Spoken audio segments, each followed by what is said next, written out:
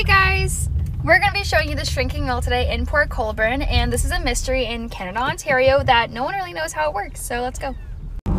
So just keep your eye on that big building back there and watch the size of it as we get closer and closer.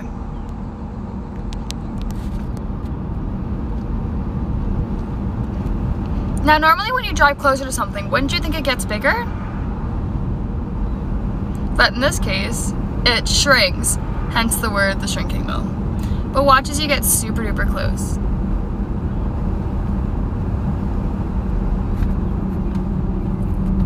Like it doesn't even make sense. Look how small it is. And we were all the way back, back down that hill and no one even knows how that works. It's tiny.